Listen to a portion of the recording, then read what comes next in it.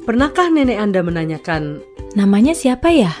lalu tidak lama kemudian menanyakan hal yang sama lagi?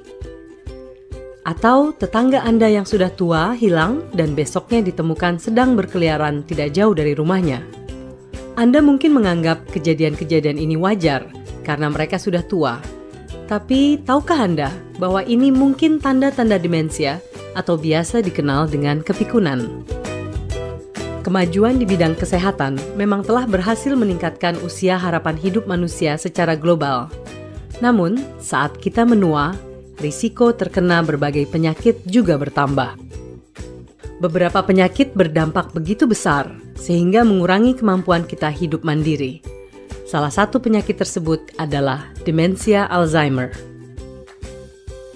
Tahun 2013, estimasi jumlah orang dengan demensia di Indonesia hampir mencapai 1 juta orang dan diperkirakan akan meningkat dua kali lipat di tahun 2030. Biaya yang dikeluarkan di negara berkembang seperti Indonesia untuk perawatan orang dengan demensia diperkirakan lebih dari 1,7 miliar dolar per tahun.